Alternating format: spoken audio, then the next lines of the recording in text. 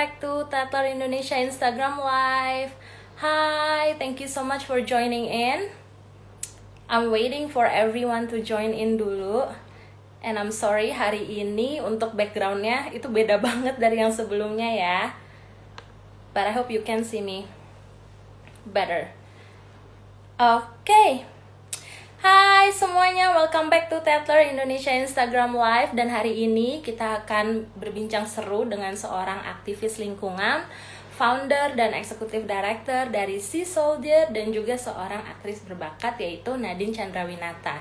Dan hari ini seru banget karena kita akan ngobrol-ngobrol mengenai uh, kegiatan aktivismenya uh, dalam menjaga lingkungan dan laut, terus kecintaannya terhadap traveling dan juga eh, hal-hal uh, yang menginspirasi kita untuk terus konsisten dalam menciptakan lingkungan yang berkelanjutan dan juga menggerakkan perubahan. Oke, kebetulan Nadine udah bergabung nih sama kita, jadi langsung aja kita invite.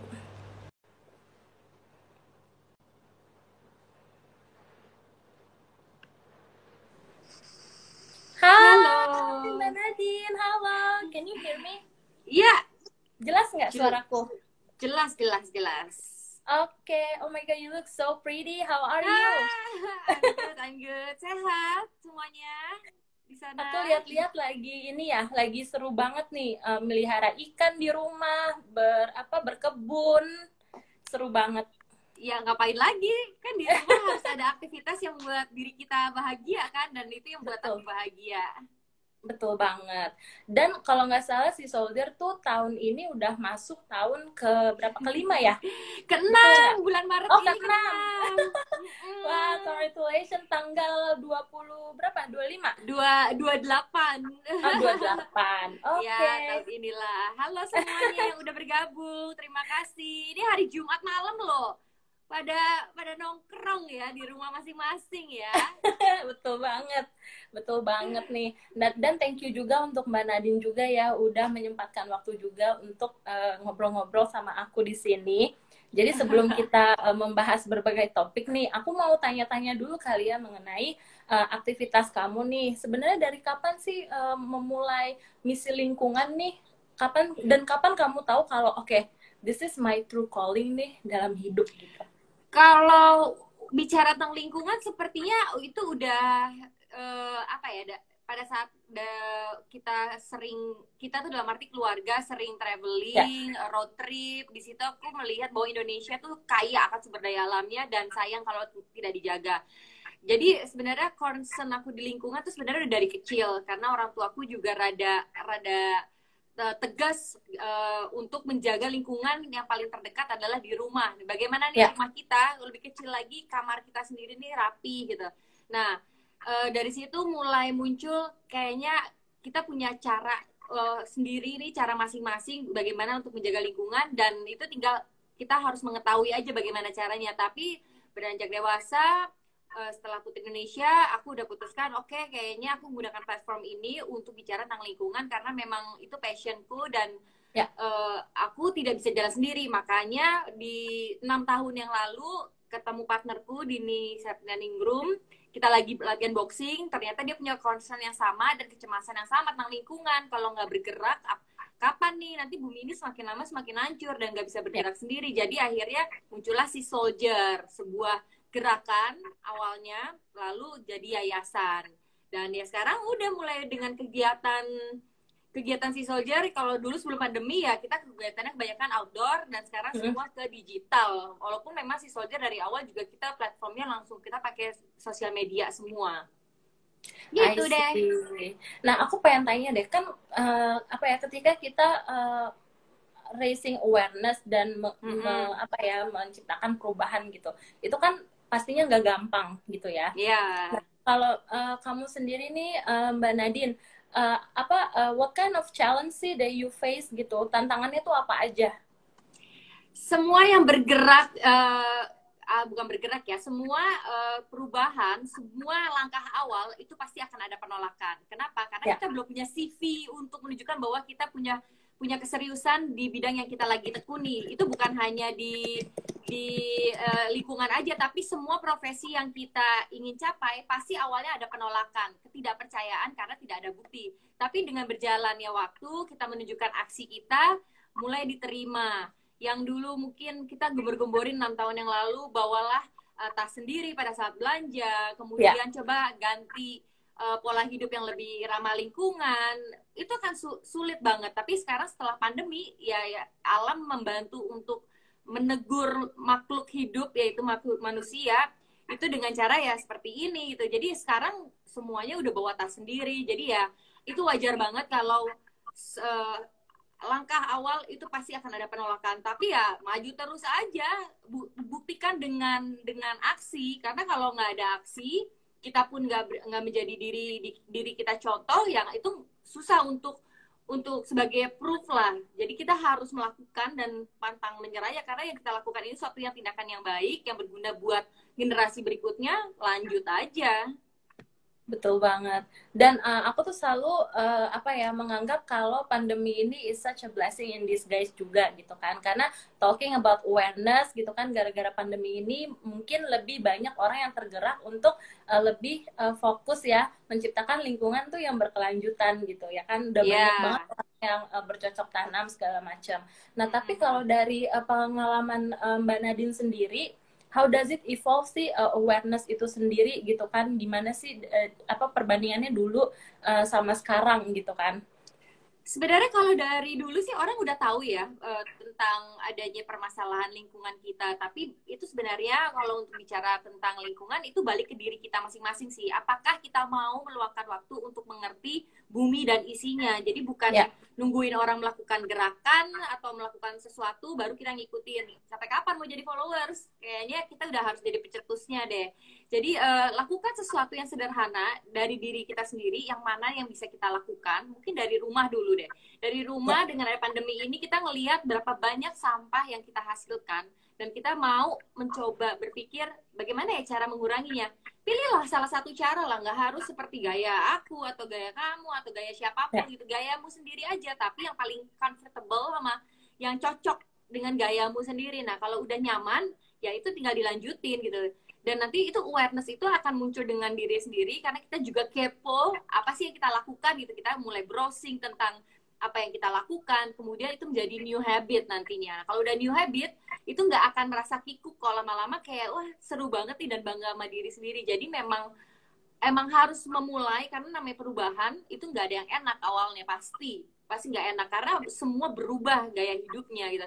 Tapi kalau udah mulai nyaman itu pasti akan jadi new habit buat kita sendiri. Ya, betul banget. Mm-hmm. Nah, uh, Mbak Nadine waktu aku uh, apa ya research gitu kan atau uh, pertanyaan nih untuk Mbak Nadine gitu, I came across an article gitu kan.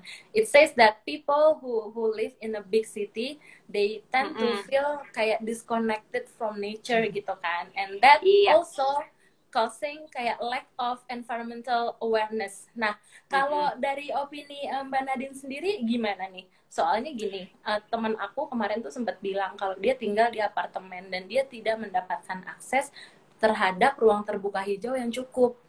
Gitu. Iya iya. Iya memang um, balik lagi ya uh, sebenarnya kita mau tinggal di kota mau tinggal di desa mau tinggal di tepi pantai sebenarnya sebenarnya uh, aksi yang kalian lakukan tidak akan sia-sia tapi bagaimana ya. cara kita menemukan puzzles kita sendiri untuk kita bisa ngelakuin sebuah gerakan kecil dari mana pun, apa pun profesinya, apa pun background kalian gitu. Dan kita mengambil dari filosofi uh, si soldier, air mengalir dari hulu ke hilir, hulu adalah mhm. daratan, hilir adalah lautan. Jadi semua yang berada di daratan akan end up-nya di lautan. Nah, bagaimana cara kita untuk tidak uh, membuat sampah ini berakhir di titik terakhir yaitu lautan? Yaitu daratan. Di mana daratan itu? Ya di mana kita kita menapak dan kalau ya tinggal di kota, kira-kira apa sih yang bisa kita lakukan? Mungkin bisa dilakukan pemilahan sampah. Walaupun ya. banyak yang berpikir, ya nanti juga sampahnya dijadiin satu lagi kok. Ya, gak usah mikir jauh-jauh dulu deh. Kita melakukan ini untuk diri kita sendiri sama lingkungan. Mau itu nanti mau dijadiin satu atau mau nanti diacak-acak lagi ya terserah. Yang penting kita aja dulu gitu. Ya, kita mau melakukan karena buat diri kita sendiri karena Ya. aku percaya ya lingkungan sehat artinya aku sehat. Lingkungan bersih aku pun bersih. Jadi kita pun juga menghargai apa yang ada di sekitar kita. Dan itu akan akan eh, menular. Jadi virus ramah lingkungan itu itu akan menular bagi orang-orang terdekat. Jadi kita harus jadi contoh dulu baru bisa meyakinkan ke orang-orang sekitar bahwa ini bisa kok dilakukan dan tidak akan menyita waktumu banyak-banyak kok. Tapi balik lagi mau nggak melakukannya? Kalau nggak mau Ya. ya ngapain jadi kalau nggak sefrekuensi ya udahlah lupakan aja dulu gitu ya. Nggak nggak usah terlalu pusing mikirin kata orang atau orang lain nggak akan tergerak hatinya ya biarin aja gitu. Karena capek juga kalau nungguin orang berubah terus eh, apa sindiran pedas dari orang ya biarin aja. Yang tahu hidup kita kan kita sendiri dan kita senang melakukan sesuatu untuk lingkungan. Jadi eh, mulai pilih aja dari semua banyak-banyak banget cara untuk eh, untuk peduli lingkungan pilihlah salah satu yang mana yang nyaman kemudian konsisten ngelakuinnya Betul banget. Nah, eh, sebelum kita move on ke pertanyaan selanjutnya untuk viewers kita malam ini, kalau misalnya ada pertanyaan, boleh langsung Iya. aja drop di komen di bawah ya. Iya, ini halo dulu, halo Selviana, Sabiu, Fitri, yes, eh, Uswatun, Afifa, Teresia, Febri, Randy, Febri, Dokter Yasem, oh, banyak banget nih, halo semuanya. Ada Rahel, hai Rahel. Oke, halo semuanya viewers, thank you so much juga udah joining in ya. Wow, Meli, hai, ada Clarina.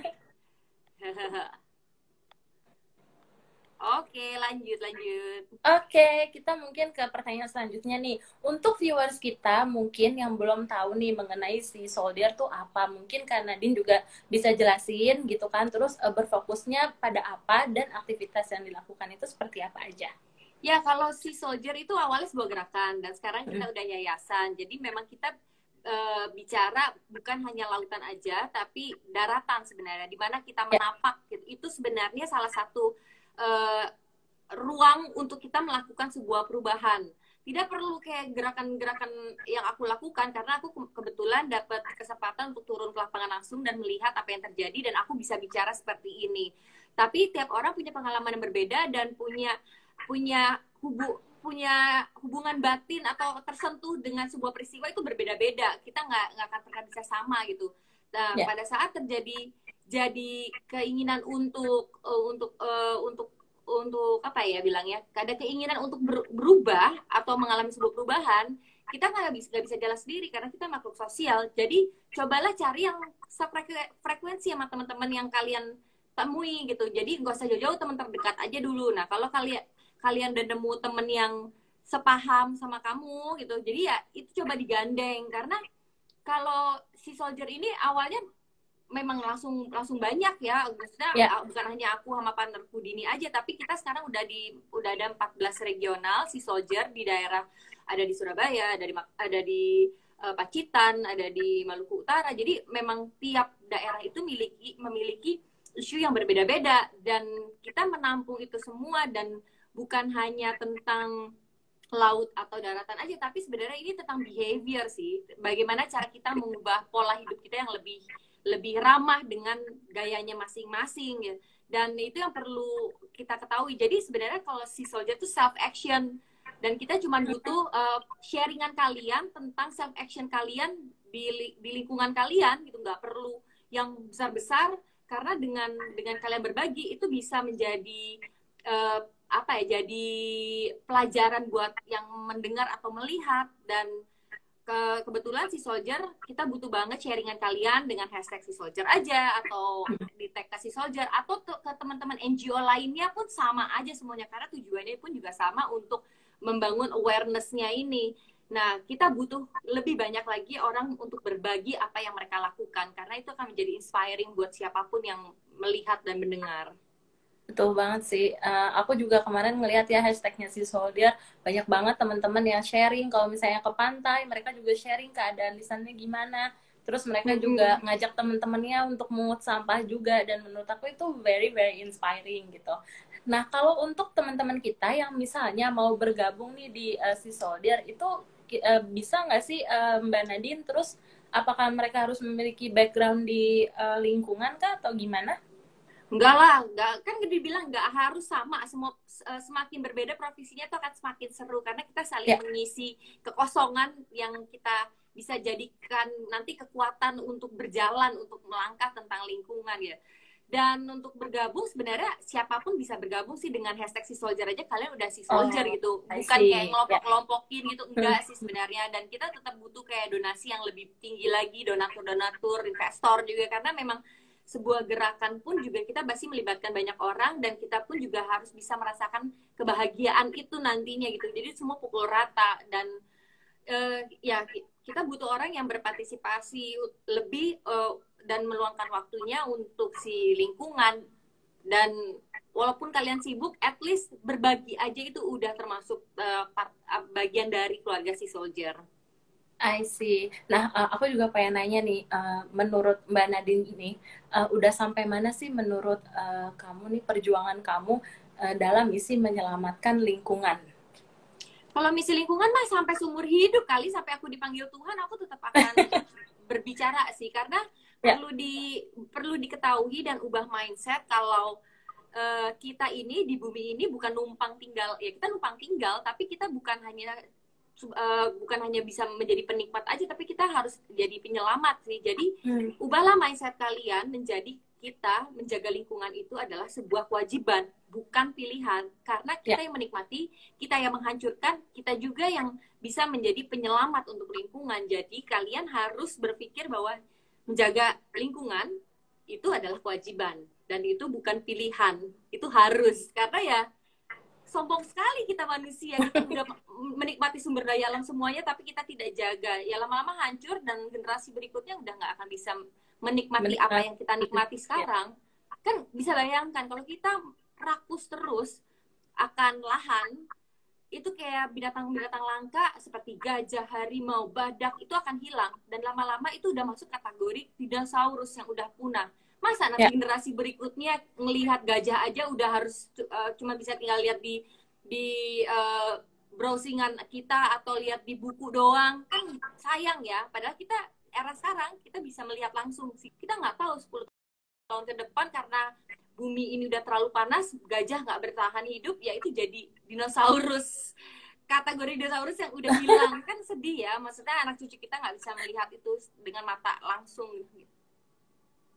I see. Gitu. Nah, Mbak Nadine, i- uh, kalau misalnya nih, if you could have the ears of world leaders misalnya, kayak what is the uh, one message yang Mbak Nadine tuh mau uh, omongin ke mereka gitu? Ya untuk hidup eh, untuk hidup yang nyaman dan eh, dan wow dan I'm sorry, rumah aku di depan. nggak apa-apa. Jadi untuk menjaga bumi ini ya kita pilihannya adalah dengan eh, hidup eh, sustain, dengan hidup berkelanjutan karena hanya itu pilihannya. Jadi kita sudah harus eh, menjadi bagian eh, bagian dari lingkungan, ke bagian ke- bagian dari dari alam lagi. Jadi bisa dibilang welcome back, welcome back sih sebenarnya bukan bukan sesuatu yang baru karena kita udah terlalu jauh sama alam. Karena ngeliat kita kita dengan alam tuh jauh, jadi kita nggak ada merasa itu kayak ada connect connectednya sama sekali gitu. Padahal kita Ya. kita berhubungan sama we all connected gitu. I see. Nah, uh, aku juga pengen nanya sih, kan tadi kan Mbak Nadine juga bilang kalau uh, kalau kita mau membuat perubahan pastinya konsisten. Itu perlu banget, ya kan? Nah, uh, throughout your uh, career nih, your experience as an activist, pastinya kan you have faced a lot of challenges. Tapi gimana sih kayak uh, what encourage you to to stay committed, terus kayak to actually never tired gitu loh, to do this. I feel alive and I feel proud of myself kalau aku melakukan sebuah perubahan kecil di lingkungan terdekatku. Dan aku bisa bilang ini eh, aku berharap banyak yang bisa merasakan apa yang aku rasakan. Jadi pada saat kita peduli sama lingkungan, yakin 100% kita akan dapat rezeki yang berlimpah. Dan aku pengen Ya. teman-teman merasakan sensasi itu. Sama seperti ya kita menjaga lingkungan itu menjaga keluarga kita sendiri sama kita menjaga diri kita sendiri dan eh, salah satu timbal balik dari semesta untuk bilang thank you adalah memberikan kita rezeki di mana pun eh, profesi kita berada ya. Ya. Apa pun deh, kelancaran dalam berbisnis, eh, persahabatan yang baik, keluarga yang baik, harmonis, kesehatan, itu adalah rezeki yang berlimpah dari kita peduli dari lingkungan. Jadi mungkin kalau dibayangin nggak masuk akal ya, tapi sama seperti kita punya punya eh, sesuatu yang lebih besar yaitu sang pencipta kita itu kan nggak Ya. pernah nggak pernah kelihatan tapi dia bisa nunjukin dengan memberikan sumber daya alam yang banyak. Nah tugas kita adalah menjaganya. Dan ya aku ngajakin teman-teman untuk merasakan sensasi kejutan dari dari lingkungan itu. Berkah yang berlimpah be- rezeki yang luar biasa sekitar yang positif vibe-nya. Jadi menurutku eh, kalian harus merasakan itu sendiri. Karena itu nggak ada di buku sebenarnya. Itu Ya. itu harus dilakukan dan di dinikmatin proses proses journey-nya itu I see. Nah, aku juga pengen ini nih, pengen nanya juga. Kan kalau uh, si Soldier ini kan juga menciptakan uh, ruang atau sosial media yang positif, gitu kan. Mm-mm. Nah, kalau misalnya Mbak Nadine se- sendiri nih seorang uh, sebagai seorang public figure dan aktivis juga, bagaimana sih uh, Mbak Nadine memanfaatkan sosial uh, medianya Mbak Nadine untuk uh, menggerakkan perubahan dan meningkatkan uh, mungkin uh, apa ya, meningkatkan awareness nih ya kita nggak perlu sosial media. kita nggak perlu gini ya eh, kita nggak perlu berpura-pura menjadi orang lain Eh, dan kita bisa mempergunakan sosial media kita dengan bijak Ya. walaupun aku eh, maksudnya aku berbicara tentang lingkungan bukan berarti Instagram aku semuanya bicara tentang lingkungan aja ya aku pun juga jenuh kali ya gitu tapi aku Ya. Aku masukin semua yang ada di Instagram ya itu aku eh, dan aku punya kehidupan yang lain dengan dengan salah satunya menjaga rumahku, menjaga keluargaku, menjaga teman-teman aku supaya semua bisa dapat sesuatu yang baik gitu. Dan aku sharing di Instagram aku. Jadi eh, kita pun juga harus bisa jujur sama diri kita sendiri. Karena kalau kita berpura-pura capek nggak sih ya sampai kapan mau berpura-pura jadi orang lain atau comparing sama orang lain atau Instagram orang lain lebih bagus karena kelihatannya kehidupannya baik-baik aja. Di dunia ini nggak ada yang selalu baik-baik, pasti ada yang baik, ada yang tidak. Eh, ada yang senang, ada yang sedih. Kenapa kita mau kasih yang baik-baik di Instagram? Karena ingat kita ingin sharing a good vibe-nya itulah. Eh, mudah-mudahan juga dapat energi positif. eh, pada saat mungkin melihat senyum dari seseorang di Instagram itu kan tujuannya kenapa yang baik-baik aja. Tapi kalau orang berpura-pura pasti juga akan kelihatan kok di Instagramnya apakah dia berpura-pura menjadi orang lain atau menjadi diri sendiri. Jadi ya kalau kita punya keseriusan di di suatu isu ya cobalah dari semua foto selfie kalian berbagilah satu satu foto postingan kalian eh, tentang apa yang kalian pikirkan Eh, Hmm. karena di dunia ini bukan hanya tentang materi aja karena ada hal lain yang perlu kita syukuri dan berbagilah akan itu dan bilang thank you ke lingkungan karena kehidupan ini ya kita dengan lingkungan kita karena kita nggak bisa kita nggak mungkin tinggal sendiri ada di sekitar kita nah berbagilah dengan sekitar itu I see. Nah, eh, dalam perjalanan karir kamu nih dengan segala aktivitas yang eh, Mbak Nadine udah lakuin, pernah nggak sih Mbak merasa jenuh gitu? Kayak how did you find new challenges in your routine? kalau jenuh ya cari aja sesuatu yang menyenangkan lagi dan recharge. Dan kalian harus tahu bagaimana cara nge- nge-recharge diri kalian. Mungkin eh, kalau aku bisa sharing kalau aku lagi jenuh ya aku melakukan kegiatan yang buat aku eh, merasa meaningful lagi dalam hidup aku. Uh, dan aku memilih untuk berkarya. Berkarya dalam arti aku di dalam maksudnya selama di rumah aku prakarya. Aku buat sebuah karya dan yang aku pasang di di dinding aku kemudian aku mulai eh, memancing momen-momen bahagiaku dengan aku melihat foto dan aku print dan aku masukin foto album. Karena kalau kita nggak melakukan itu ya itu hanya sekedar kenangan nantinya. Dan hanya Ya. kita yang bisa menikmati. Tapi kalau kita print foto-foto kita emang harus ada effort di situ. Itu artinya kita mem- kita memancing momen bahagia kita dengan melihat sesuatu yang bahagia. Dan kita langsung bisa di situ biasanya langsung bersyukur. Ya karena gila kita bisa melewati nih masa-masa eh, kesedihan kita terus kita bisa bahagia sampai saat ini. Jadi ya kalian harus tahu apa yang membuat bahagia dan kumpulkan itu eh, semua energi itu. Karena yang bisa mengangkat diri kita sendiri ya kita. Nggak bisa jangan tergantung sama orang lain. Ada yang selalu membantu kita jangan begitu. Kita harus eh, membuat diri kita bahagia dengan uh, support system yang baik juga di sekitar kita. I see. Nah, terus juga as an uh, avid traveler nih, terus juga a diver gitu kan, suka jalan-jalan juga. Uh, kayak ada nggak sih mbak most heartbreaking stories you've ever kayak came up gitu, yang pernah dialami? Iya, kenapa ada si soldier karena berawal dari travelingku sih traveling hmm. aku sering melihat banyak tumpukan sampah kemudian banyak sampah yang nyangkut di corals kemudian ya. ada yang termakan sama si dolphins bukan termakan si nyangkut di moncongnya itu kemudian ada yang termakan oleh si uh, penyu karena dia kira itu ubur-ubur jadi banyak cerita tentang teman-teman yang tinggal di tepi pantai di pesisir mereka punya punya bukti nyata kalau itu terjadi. Nah, mungkin yang yang tinggal jauh dari perkotaan dan pedesaan ya mungkin jarang melihat itu, tapi ya. karena aku juga melihat langsung uh, itu yang membuat aku tergerak hatiku untuk bikin sebuah yayasan yang kita jadi kayak tempat untuk mengajak orang untuk uh, untuk berbicara, berbagi dan melakukan sebuah tindakan self action.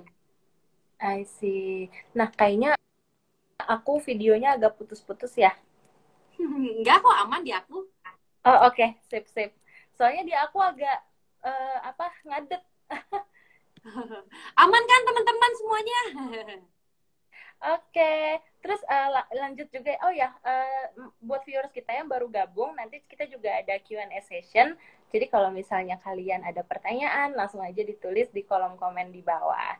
Nah, Mbak Nadine, aku tuh suka banget ngelihat kebersamaannya Mbak Nadine dengan Mas Dimas nih, mulai dari berkebun, jalan-jalan, ya kan, melihara ikan juga di rumah. Nah, di tengah uh, uh, uh. pandemi ini kan mulai apa ya? Eh, orang-orang uh, tuh mulai menemukan passion mereka nih dalam berkebun. Nah, kalau mm -hmm. Mbak Nadine sendiri saat ini uh, apa ya uh, hobi ini tuh udah dilakuin sejak kapan sih kalau berkebun di rumah? kalau berkebun ya dari dulu ya gitu aku seneng yang hmm. ya, di, di sekitar aku tuh berwarna hijau gitu uh, dan aku ya. bisa melihat mereka bertumbuh besar gitu tapi mulai serius mulai mendalami dan mengerti tiap pohon itu memiliki karakternya masing-masing ya sudah sudah selama pandemi ini. Dan aku mencoba menyesuaikan dengan karakterku untuk pada saat memilih tanaman gitu kak. Karena yeah. kan aku sama Dimas masih sering jalan gitu terkadang ya kita nggak bisa meli, mem, mem, apa tidak bisa punya punya tanaman yang terlalu primadona lah. Jadi aku sama Dimas banyak kan ya tanaman yang yang kebutuhan airnya tidak tidak terlalu banyak sama tanaman-tanaman yang terlalu hijau gitu. Jadi kayak kaktus, sukulen, ya itu ya. sekali. Ya, air, airplane, terus uh, uh, litops gitu. Jadi benar-benar kita menyesuaikan karakter kita sendiri karena kita yang ngejaga. Jadi kita harus bertanggung jawab juga dengan tanaman kita. Dan selama mengurusi rumah dan mempercantik isi rumah ya aku sama Dimas pun juga jadi punya komunikasi yang baik uh, ya. kita menyalurkan hobi kita uh, dari dari ya kita memperhatikan rumah ini karena rumah ini kan juga bukan hanya uh, kalau dulu mungkin ya karena pulang pergi terus jadi rumah ini hanya tempat beristirahat tapi sekarang rumah fungsi rumah di lebih dioptimalkan dengan ada beberapa uh, ruang yang kita gunakan untuk bekerja seperti di sini ini tempat kerjaku kemudian ya. jadi ruang olahraga ruang untuk uh, ketemu orang yang kalau dulu mungkin masuk ke dalam rumah sekarang di di samping rumah aja nggak perlu masuk jadi kita sesuaikan dengan kondisi sekarang dan kita uh, bisa uh, memfungsikan ulang dari rumah kita sendiri. I see. Aku juga suka lihat nih di Instagram uh, that you are living a fan life juga. Uh. itu tuh kayak salah satu dream aku tuh adalah keliling Indonesia tuh pakai fan gitu. Karena itu seru banget. Nah untuk nextnya kamu ada plan mau jalan-jalan ke mana nih mbak? Kalau untuk eh, jalan-jalan untuk saat ini jujur aku sama Dimas uh, kita tidak planning keluar kota untuk liburan. Karena menurutku hmm. kurang tepat sekarang. Kecuali kita benar-benar udah lagi mumet uh, kita akan keluar keluar kota pun juga kita melihat itu ada maksudnya kita bisa sambil kerja nggak? Jadi kemarin kemarin dulu sih awal-awal pandemi kita sempat ke Bali karena memang ada kerjaan kemudian kita yeah. kita uh, menikmati seoptimal mungkin tapi kita nggak extend. Jadi memang kita pergi ya sesuai kebutuhan aja. Nah itu dari refreshing. Jadi ya kalau sekarang untuk liburan belum. Tapi kita punya bucket list um, kita pengen ke Banda Naira untuk diving lihat hammerhead kemudian uh, pengen ke Raja Ampat juga untuk uh, untuk ya lihat rumahku kedua rumah kedua aku lah di sana Raja Ampat Dive iya. Resort yeah. jadi memang itu masih masih planning kita tapi nggak tahu apakah tahun ini akan dilakukan atau enggak. I see. Kalau untuk nulis buku lagi, misalnya mau ngerilis buku, ada nggak kira-kira? Kalau nulis buku belum sih, maksudnya sekarang udah ada draft-draftnya, tapi belum di launch aja, belum belum waktunya lah gitu. Tapi udah nulis-nulis aja. I see. Nah ini pertanyaan Sel terakhir. Ah kenapa? sorry enggak jadi selama pandemi ini malah aku malah bisa dibilang lebih sibuk dari kegiatanku cuman bedanya kegiatannya aja berbeda gitu tapi kalau dibilang Betul. lebih sibuk mana sih bukan sekarang ya kayaknya karena banyak tapi... yang yang tertunda waktu lagi sering kerja keluar kota gitu sekarang punya Betul. waktu banyak untuk melakukan itu dan ternyata banyak banget yang belum aku belum aku capai gitu tapi ngerasa nggak sih Mbak Nadine kalau sekarang ini di tengah pandemi itu kok kerjaan tuh makin tambah banyak ya gitu iya. loh. Mungkin karena semuanya tuh online kali ya.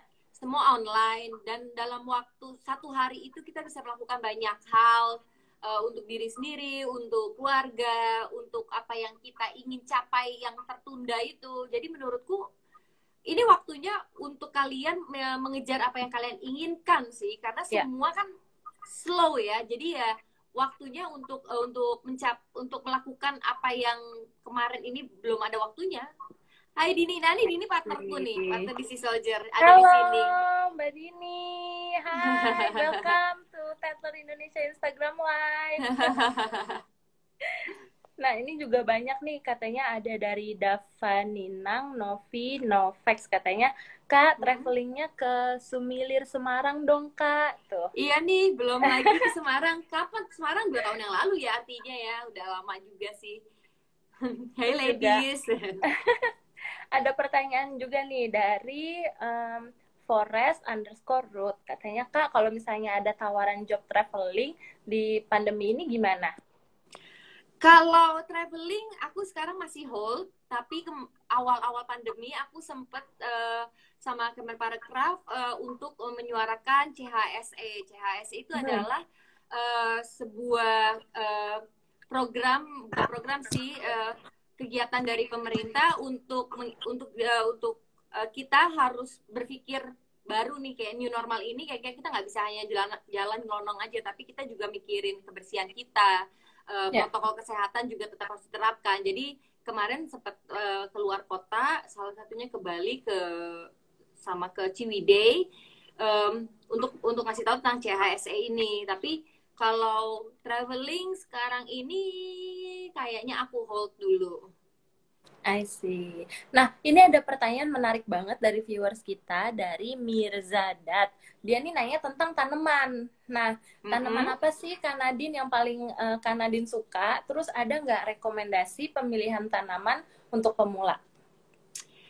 Kalau pemula ya cari yang nggak terlalu ribet ya, yang maksudnya tidak terlalu membutuhkan attention dari kita sih. Gitu kalau favorit, aku nggak tahu ya teman-teman tahu atau enggak ya. Eh, aku suka Livingstone uh, Litops, dia kayak batu gitu. Nah itu aku suka. Kemudian aku suka hmm. airplane, itu tanaman udara. Tanaman udara itu tidak membutuhkan tanah, jadi aku nyiramnya juga seminggu sekali aja dan bisa menjadi bagian dari prakarya aku gitu.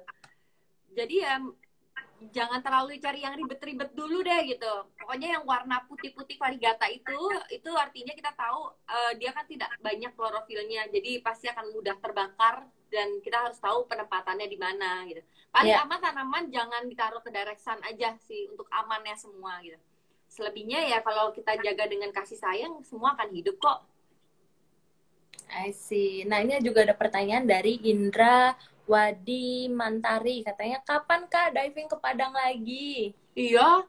Oke kalau untuk sekarang aku masih hold semua sih karena uh, kalau kalau aku belum menikah mungkin aku akan tetap traveling dan dan melakukan kegiatan yang aku mau ya tapi karena Ya. sekarang aku udah berkeluarga di rumah ini yang tinggal aku dan Dimas jadi aku pun juga harus eh, memikirkan eh, banyak hal supaya supaya semua aman gitu Dimas kerjaannya juga ketemu ba- eh, orang banyak dia masih juga syuting. Aku pun aku pun aku oke aku pilih-pilih aja sekarang gitu. Karena em, tetap eh, kita harus harus jaga maksudnya jangan sampai ada celah nih gitu. Takutnya kalau Dimas lagi capek aku capek aku capek gua emosional di sini pada saat pandemi kan juga naik up, naik naik turun ya up and down ya. Jadi kita harus harus tahu yang mana yang diutamakan dan eh, dan aku nyaman dengan keadaan sekarang I see. Nah, aku punya dua pertanyaan lagi nih untuk Mbak Nadine.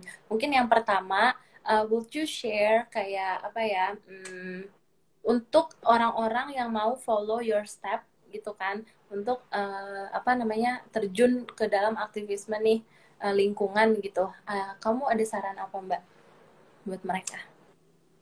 Kalau saran, jujur sama diri sendiri aja sih. Jujur sama diri sendiri dan cobalah ca- cari alasanmu kenapa harus menjaga eh, lingkungan. Karena eh, kayak aku dan teman-teman aktivis yang lainnya, kita hanya sharing apa yang kita lihat eh, dan kita berbagi pengalaman. Bukan berarti harus seperti kita ya. Tapi Ya. kalau kalian menemukan sendiri alasan kenapa harus jaga lingkungan, itu dengan sendirinya kita akan menjadi leader bagi diri kita sama orang lain sih. Kita menjadi contoh. Jadi ya eh, sekarang mulailah browsing tentang lingkungan. Pasti ada yang cocok lah dengan gaya kalian dan dan bedanya ya kita mau mencoba atau enggak sih. Itu aja. Aku Betul. nggak pernah memaksa orang seperti aku, tapi ini gaya aku untuk bicara tentang lingkungan dan carilah gaya kalian sendiri untuk bicara lingkungan. I see. Dan kita juga harus punya kemauan ya untuk uh, menciptakan perubahan tersebut gitu. Nah, iya.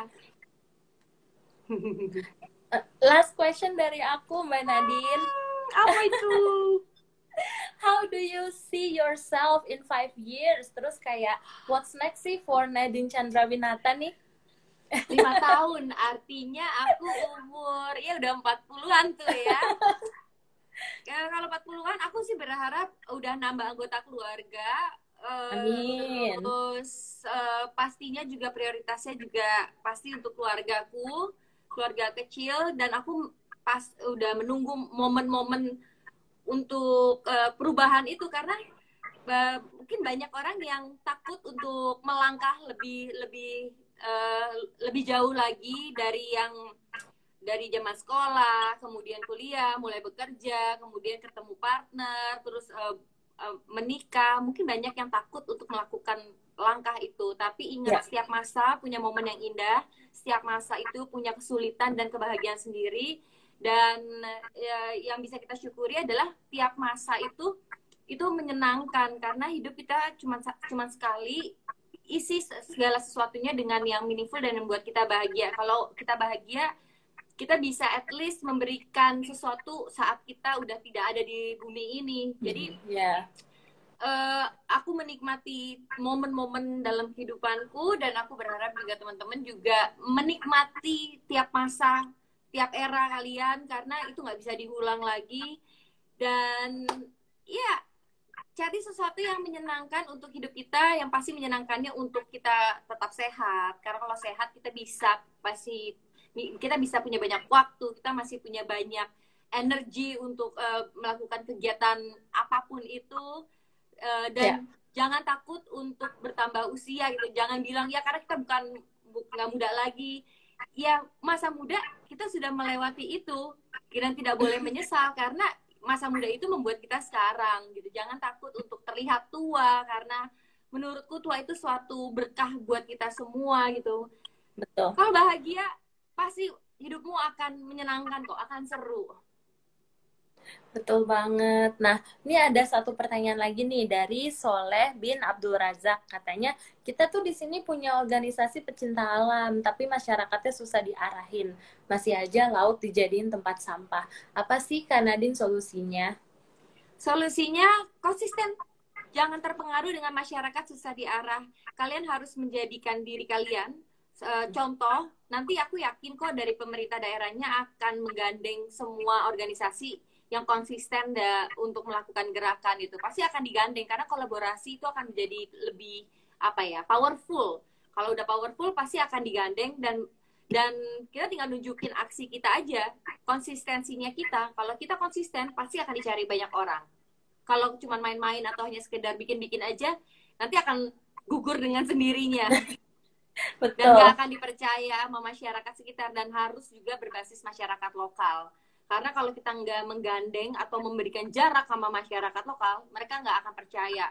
Dalam malah melihat kita menjadi ini kok pendatang gangguin aja sih, jangan gitu. Jadi kita harus harus ajak semua masyarakat untuk terlibat dan melihat langsung karena kan daerahnya sendiri. Jadi ya yang harus jaga daerahnya situ ya harus masyarakatnya yang tinggal di situ.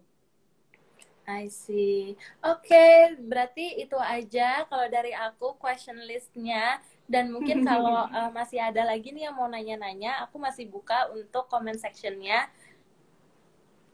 Oh, ada oh, yang hai, mau ditanya? Nadine, katanya. Salam kenal hai. dari Kalimantan Utara. Halo, Jovender. Gitu. Oh, terus ada gitu. juga nih satu pertanyaan lagi mungkin ya. Uh, Dava Ninang underscore Novi nih katanya Kak, gimana sih menurut Kak Nadine kalau tetangga asal buang sampah sembarangan tapi nggak mau diingetin? Ngapain kita capek-capek mikirin atau ngingetin orang lain? Kita aja dulu yang jadi contoh. Capek lagi kalau ngingetin orang. Udah ubah gaya kita sendiri, kita nggak usah ngelihat sekitar kita. Kita ubah gaya kita sendiri tiap pagi, kita pemilahan sampah, kita ya. buang. Nanti kan tetangga lihat sendiri, ini ngapain sih dia milah, milah sampah atau ngelakuin kompos gitu kita aja dulu uh, fokus di diri kita kita kita seneng kita nyaman ngelakuin sebuah hal kecil uh, untuk lingkungan. Nanti tetangga juga biasanya akan ngikut sih. Karena percuma kalau seandainya belum sepaham tidak nggak tidak akan ngerti gitu. Uh, malah kita capek sendiri.